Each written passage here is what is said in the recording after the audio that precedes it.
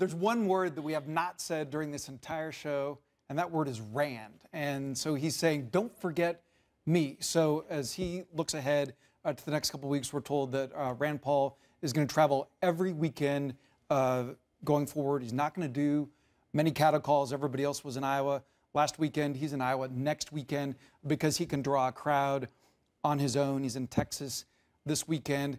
And something that he's doing as he travels the country is uh, meeting with physicians. They're thinking that a way to bring in some people who are not necessarily politically active, who can give, who can talk them up in the community. So he's talking to fellow doctors as he goes around. And there's been a lot of conversation here and elsewhere about Rand talking to new audiences, Rand's new messages. But he's back to red meat uh, next weekend in Iowa. He's doing a Liberty event, and his big rally is Audit the Fed. So that's about the reddest meat uh, that you can get on the Super Bowl. You have to show us your old school, old school cufflinks there. Very nice. Yeah, tight good. shot. Get a They're tight good. shot there. Old There we school go. cufflinks. We'll get one for you there. Uh, Is it too late to take the Packers for this weekend? Too late to take the Packers, but I know you've got a lot of ties to the Pacific Northwest. It's okay. Don't be afraid to root for your team. Yeah, the, even duck, the. Ducks didn't work, so we're going to do it with the Seahawks.